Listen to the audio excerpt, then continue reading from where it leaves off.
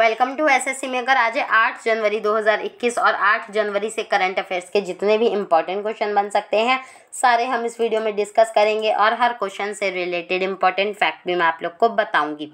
तो पूरा वीडियो अब ध्यान से देखिए लास्ट में मैं क्वेश्चन भी पूछूँगी, जिसका आंसर आप लोग को कमेंट बॉक्स में लिखना है। आई होप सभी करेक्ट आंसर लिखेंगे। चलिए स्टार्ट करते हैं आज के फ़र्स्ट क्वेश्चन के साथ, लेकिन उससे पहले मैं आपको एक चीज़ याद दिला देना चाहती हूँ। जैसा कि आप सभी जानते हैं, एसएससी मेकर के टीम ने ई बुक को लॉन्च किया है, जिसमें पंद्रह सौ से ज़्यादा क्वेश्चन है और साइंस के जिसमें है बीस सेट टोटल। कितने सेट हैं? साइंस के बीस सेट जनरल अवेयरनेस के बीस सेट जीएस वन लाइनर के पच्चीस सेट और मैथ्स और रीजनिंग के एक सौ दस और सौ मोस्ट इंपॉर्टेंट और मोस्ट रिपीटेड क्वेश्चन ठीक है? तो आई होप ये ई बुक सब लोगों ने अभी तक परचेज कर ली होगी और अगर आप लोगों ने अभी तक परचेज नहीं करी है तो बिल्कुल भी वेट मत कीजिए, जल्दी से परचेज करिए, क्योंकि बहुत ज़्यादा ये इंपॉर्टेंट ई बुक है सभी बच्चों के लिए। एन सी ग्रुप डी और one day one liner exam जो भी हैं, सभी के लिए बहुत ज़्यादा इंपॉर्टेंट है। बहुत नॉमिनल नॉमिनल से इसकी फ़ीस है फोर्टी नाइन रुपीज़ बहुत ज़्यादा इसका चार्ज नहीं है। तो आई होप सब लोग परचेज कर सकते हैं और सब लोग परचेज करेंगे। चलिए देखते हैं आज के फ़र्स्ट क्वेश्चन के साथ। फ़र्स्ट क्वेश्चन की बात करें तो निम्न में से कौन सा देश खाड़ी सहयोग परिषद का हिस्सा नहीं है? तो इसका करेक्ट आंसर क्या है? इसका करेक्ट आंसर है यमन। जैसा कि आप यहाँ देख पा रहे हैं कौन कौन सी country Saudi Arabia UAE Oman, Qatar, Bahrain, Kuwait. ये सारी कंट्रीज़ हैं खाड़ी सहयोग परिषद का हिस्सा। अब मैं बता दूँ गल्फ कॉपरेशन काउंसिल ये एक काउंसिल है जिसमें छः कंट्रीज़ मेंबर हैं। कौन कौन सी? Bahrain, Kuwait, Oman, Qatar, Saudi Arabia और यूएई। ठीक है? तो इन्होंने अभी हाल फ़िलहाल में एक एग्रीमेंट साइन किया है। इन सब के लीडर्स ने सोलिडेरिटी एंड स्टेबिलिटी के नाम से एक एग्रीमेंट साइन किया है जो कि बहुत ज़्यादा इंपॉर्टेंट है। इसीलिए ये हाल फ़िलहाल में चर्चा में है। ठीक है? अब हेडक्वार्टर की अगर हम लोग बात करें जीसीसी का जीसीसी का हेडक्वार्टर कहाँ पर? रियाद, सऊदी अरबिया में इस्टेब्लिशमेंट इसका कब हुआ था? 1981 में इसका इस्टेब्लिशमेंट हुआ था। तो ये चीज़ भी आप लोग याद रखिएगा। तो इसका करेक्ट आंसर क्या है? इसका करेक्ट आंसर बन जाता है क्या? यमन, इसका करेक्ट आंसर है। चलिए मूव करते हैं आज के अगले प्रश्न की साइड नेक्स्ट क्वेश्चन की अगर हम लोग बात करें, लेकिन हाँ उससे पहले मैं आपको एक चीज़ बता देना चाहती हूँ भैया। आज तक का, आज का आपका वीडियो के लाइक का टारगेट क्या है? आज के वीडियो का लाइक का टारगेट आपका अट्ठारह प्लस लाइक्स आई होप ये टारगेट सभी ज़्यादा से ज़्यादा अचीव करने का ट्राई करेंगे। चलिए देखते हैं आज का नेक्स्ट क्वेश्चन क्या कहता है आप लोगों का। सेकंड क्वेश्चन क्या कहता है, वैश्विक आर्थिक संभावना रिपोर्ट किसके द्वारा जारी की गई है? तो इसका करेक्ट आंसर क्या बन जाता है? इसका करेक्ट आंसर है वर्ल्ड बैंक जी हाँ वर्ल्ड बैंक इसका करेक्ट आंसर है। ठीक है, अगर हम लोग बात करें वर्ल्ड बैंक की तो वर्ल्ड बैंक के प्रेसिडेंट कौन है? David Malpass David Malpass world bank के प्रेसिडेंट है, वर्ल्ड बैंक के हेडक्वार्टर की, अगर हम लोग बात करें तो हेडक्वार्टर कहाँ पर है? वॉशिंगटन डीसी में हेडक्वार्टर लोकेटेड है वर्ल्ड बैंक का। वर्ल्ड बैंक को फाउंड कब किया था? 1944 में वर्ल्ड बैंक को फाउंड किया गया था। ठीक है तो इसका करेक्ट आंसर है वर्ल्ड बैंक पहले अनुमान लगाया जा रहा था कि भाई फोर परसेंट मतलब पहले अनुमान लगाया जा रहा था कि भाई फाइव परसेंट है तो अब अनुमान लगाया जा रहा है कि फोर परसेंट है। ये अनुमान किसके द्वारा लगाया गया है? ये अनुमान लगाया गया है वर्ल्ड बैंक के द्वारा। चलिए देखते हैं आज का अगला प्रश्न, क्या कहता है? थर्ड क्वेश्चन की बात करें तो किसान कल्याण मिशन किस द्वारा, किस राज्य द्वारा शुरू किया गया है? तो इसका करेक्ट आंसर है उत्तर प्रदेश। यूपी गवर्नमेंट के द्वारा किसान कल्याण मिशन को लॉन्च किया गया है। यूपी के सीएम कौन? योगी आदित्यनाथ जी ने इनको लॉन्च किया है छः जनवरी को। ठीक है? To double the income of farmers मतलब फार्मर्स की इनकम को डबल करने के लिए यूपी ने इस मिशन को लॉन्च किया है, जिसमें बहुत सारे प्रोग्राम्स हैं। सारे डिस्ट्रिक्ट यूपी के पिछहत्तर डिस्ट्रिक्ट में इसको लॉन्च किया जाएगा, ठीक है? और अगर हम लोग बात करें, इससे बहुत ज़्यादा फ़ायदा होगा किसानों को। हाल फ़िलहाल में ज़रूरत भी है। भाई, किसानों को सचमुच में बहुत ज़रूरत है, इसलिए इसको ये लॉन्च किया गया है यूपी गवर्नमेंट के द्वारा। चलिए देखते हैं आज का अगला प्रश्न, क्या कहता है, किस राज्य में विश्व के सबसे बड़े तैरने वाली सौर ऊर्जा परियोजना का निर्माण किया जाएगा? तो इसके करेक्ट आंसर की हम लोग अगर बात करें तो इसका करेक्ट आंसर है मध्य प्रदेश। मध्य प्रदेश के खांडवा ज़िले में नर्मदा नदी पर इसका निर्माण किया जाएगा। 600 मेगावाट क्षमता की ओमकारेश्वर बाँध पर तीन हज़ार करोड़ रुपए में जिसका निर्माण किया गया है, किया जाएगा। अब इसका संचालन कब शुरू होगा? 2022-23 में इसका संचालन शुरू होगा। यहाँ पर बात हो रही है एमपी की। तो एमपी की अगर हम लोग बात करें तो एमपी की यहाँ पर बात हो रही है। एमपी की कैपिटल सबको पता है, भोपाल है लार्जेस्ट सिटी भी सबको पता है, इन इंदौर है लार्जेस्ट सिटी ठीक है गवर्नर की बात करें तो आनंदी बेन पटेल आनंदी बेन पटेल वहाँ के गवर्नर हैं और अगर हम लोग बात करें सीएम की तो सीएम कौन है? शिवराज सिंह चौहान। एसएससी शिवराज सिंह चौहान वहाँ के गवर्नर हैं। तो सॉरी सीएम है।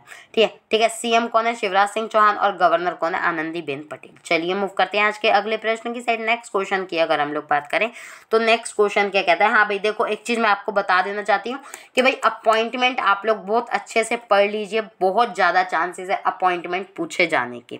ठीक है तो इसका ये क्वेश्चन कौन सा क्वेश्चन क्या कहता है? भारतीय सेना के नए deputy chief of army staff के रूप में किसे नियुक्त किया गया है? शांतनु दयाल सिंह शांतनु दयाल सिंह को हसबनी के स्थान पर, एस एस हसबनी के स्थान पर नए deputy chief of army staff के रूप में नियुक्त किया गया है। ये बहुत ज़्यादा इंपॉर्टेंट ये क्वेश्चन होने वाला है।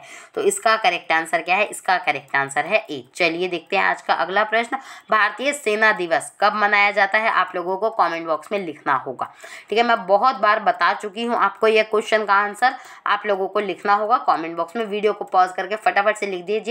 कि भाई भारतीय सेना दिवस कब मनाया जाता है। चलिए देखते हैं अगला क्वेश्चन विश्व के सबसे लंबे प्लेटफॉर्म का उद्घाटन किस राज्य में? मार्च 2021 में किस राज्य में किया जाएगा? तो इसका करेक्ट आंसर है कर्नाटका। कर्नाटका की लोकेशन आप लोग देख पा रहे हैं। कर्नाटका के सिद्धरूदा स्वामी जी रेलवे स्टेशन, हुबली पर विश्व के 1500 मीटर से अधिक लंबे रेलवे प्लेटफॉर्म का पीएम नरेंद्र मोदी जी के द्वारा उद्घाटन किया जाएगा। ठीक है, अभी तक का कौन सा है? उत्तर प्रदेश में गोरखपुर रेलवे स्टेशन पर 1355 किलोमीटर लंबा, दूसरा सबसे लंबा प्लेटफॉर्म ये हो जाएगा। पहला कौन सा हो जाएगा? अब मार्च में मार्च में उद्घाटन किया जाएगा कर्नाटका के। ठीक है, अब उसके बाद फिर कौन सा आ जाएगा? उत्तर प्रदेश के गोरखपुर रेलवे स्टेशन, जिसकी लंबाई है तेरह सौ पचपन और कर्नाटक वाले की कितनी होगी? पंद्रह सौ मीटर। ठीक है तो इसका करेक्ट आंसर क्या है? इसका करेक्ट आंसर है कर्नाटका चलिए देखते हैं आज का अगला प्रश्न क्या कहता है? अगले प्रश्न की हम लोग अगर बात करें तो किसकी अध्यक्षता में निम्न में से किसकी अध्यक्षता में दक्षिण एशिया ऊर्जा सुरक्षा के लिए उच्च स्तरीय समूह का गठन किया गया? तो इसका करेक्ट आंसर है राम विनय शाही। पूर्व केंद्रीय ऊर्जा सचिव राम विनय शाही की अध्यक्षता में South Asia group for energy नाम से समूह का गठन किया गया। क्योंकि पूरा एक नया समूह है, इसलिए बहुत ज़्यादा इम्पोर्टेंट ये बन जाता है। ठीक है, भारत सरकार ने, भारत सरकार की अध्यक्षता, भारत सरकार कौन है राम विनय शाही इनकी अध्यक्षता में दक्षिण एशिया ऊर्जा सुरक्षा के लिए एक उच्च स्तरीय समूह का गठन किया गया। विदेश मंत्रालय के think tank research and information system for developing countries के द्वारा एस ए जी ई मतलब साउथ एशिया एनर्जी सिक्योरिटी की वो मतलब स्थापना की जाएगी। ठीक है? दक्षिण एशियाई देशों के बीच ऊर्जा व संबंधित मुद्दों पर प्रभावी संवाद के लिए इसका गठन किया गया। तो इसका करेक्ट आंसर क्या है? इसका करेक्ट आंसर है ए। चलिए देखते हैं आज का अगला प्रश्न क्या कहता है? भारत सरकार द्वारा डैश बैंक के लिए ज़ीरो कूपन बॉन्ड जारी किए गए। तो इसका करेक्ट आंसर है पंजाब और सिंध बैंक। भारत सरकार द्वारा पंजाब व सिंध बैंक के पुनर्पूंजीकरण के लिए ऐसा किया गया। कितने करोड़ के? पचपन सौ करोड़ रुपए के बॉन्ड जारी किए गए। ठीक है? ज़ीरो कूपन बॉन्ड जिन्हें कहते हैं। ठीक है तो इसका करेक्ट आंसर क्या है? इसका करेक्ट आंसर है पंजाब और सिंध बैंक। ठीक है, यहाँ पर अगर हम लोग बात करें कितने की तो पचपन सौ करोड़, पचपन सौ करोड़ इसका अमाउंट होगा। ठीक है, अब मैं एक चीज़ और बता दूँ कि भाई, भारत सरकार द्वारा 2030 से 2035 के बीच मेच्योरिटी अवधि के साथ 5500 करोड़ के ज़ीरो कूपन बॉन्डों को जारी किया गया है। ये क्वेश्चन पूछा जा सकता है। अब यहाँ पर बात हो रही है पंजाब एंड सिंध बैंक की। तो कब स्थापना हुई थी? 1908 में हुई थी। मुख्यालय कहाँ पर है? नई दिल्ली में इसका मुख्यालय है। अब एमडी और सीईओ की बात करें तो एस कृष्णन यहाँ के एमडी और सीईओ हैं। तो इसका करेक्ट आंसर क्या है? इसका करेक्ट आंसर बन जाता है पंजाब और सिंध बैंक। चलिए देखते हैं आज का अगला प्रश्न क्या कहता है? निम्न में से किस राज्य सरकार ने किसान सूर्योदय योजना को लागू किया तो इसका करेक्ट आंसर है गुजरात। गुजरात, इसका करेक्ट आंसर बन जाता है। गुजरात सरकार ने सिंचाई के लिए दिन के समय बिजली की आपूर्ति सुनिश्चित करने के मकसद से किसान सूर्योदय योजना को शुरू किया है। ठीक है, अगर यहाँ पर हम लोग बात करें तो सुबह पाँच बजे से रात नौ बजे तक बिजली की सप्लाई किए जाने का प्रावधान है इसमें। और राज्य सरकार ने बताया कि भाई 2023 तक इस योजना के तहत पारेषण अवसंरचना स्थापित करने के लिए 3500 करोड़ रुपए का बजट भी आवंटित आवंटित किया गया है। तो इसका करेक्ट आंसर है गुजरात। चलिए देखते हैं आज का अंतिम प्रश्न। हाल ही में किस देश ने मृत्यु दंड को समाप्त कर दिया? तो इसका करेक्ट आंसर है कजाकिस्तान। कजाकिस्तान ने मृत्यु दंड को समाप्त कर दिया। क्योंकि बहुत बड़ी बात है, इसलिए क्वेश्चन पूछने के चांसेस भी बहुत ज़्यादा बन जाते हैं। कजाकिस्तान ने कजाकिस्तान ने मृत्यु दंड को समाप्त कर दिया। राष्ट्रपति कासिम जोमार टेको, टोकेव ने नागरिक और राजनीतिक अधिकारों पर अंतर्राष्ट्रीय वार्ता वार्ता के द्वितीय वैकल्पिक प्रोटोकॉल के संसदीय अनुसमर्थन पर हस्ताक्षर किए और यह दस्तावेज़ संयुक्त राष्ट्र संधि के हस्तक्ष हस्तक्षा हस्ताक्षरकर्ता को मृत्यु दंड के उन्मूलन के लिए प्रतिबद्ध भी करता है। तो इसका करेक्ट आंसर है कजाकिस्तान। ये आप लोकेशन देख पा रहे हैं। डायरेक्टली लोकेशन भी पूछने के चांसेस बन जाते हैं कई बार।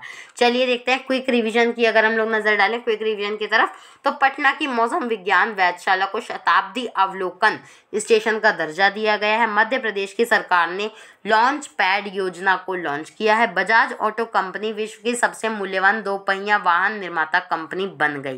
कोची मैंगलुरु प्राकृतिक गैस पाइपलाइन साढ़े चार सौ किलोमीटर लंबी है। अखिल भारतीय शतरंज संघ के नए अध्यक्ष के रूप में संजय कपूर को चुना गया। माइग्रेंट वर्कर सेल का उद्घाटन गुजरात में किया गया है। मलाला यूसुफ जई स्कॉलरशिप एक्ट को अमेरिका की संसद के द्वारा पास किया गया। तो इसकी हमने देखा क्विक रिवीजन आई होप सब लोगों को अच्छे से याद हो गए होंगे वन लाइनर के फॉर्म में।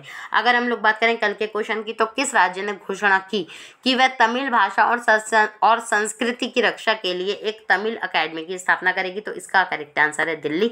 बहुत सारे बच्चों ने इसका करेक्ट आंसर लिखा था। मैं उन सभी का थैंक्स करना चाहती हूँ और उम्मीद करती हूँ आज भी सभी बच्चे करेक्ट आंसर लिखेंगे।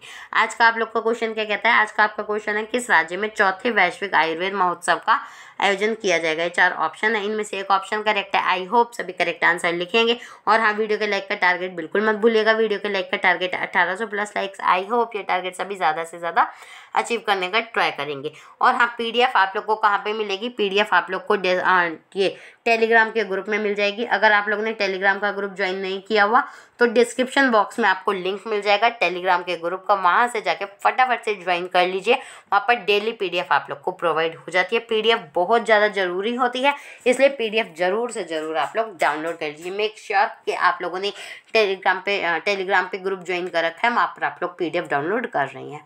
ठीक है? और अगर आप लोगों ने वीडियो, अभी तक वीडियो को शेयर नहीं किया तो अपने सभी दोस्तों में, अपने सभी मित्रों में ज़रूर से ज़रूर वीडियो को शेयर करें, जिससे सभी बच्चे लाभ उठा पाए। और अगर आप चैनल पर नए हैं तो मेक श्योर चैनल को सब्सक्राइब करें, उसके बगल में बेल आइकॉन को भी प्रेस करें, जिससे सारे नोटिफिकेशन टाइम टू टाइम पर मिलते जाए।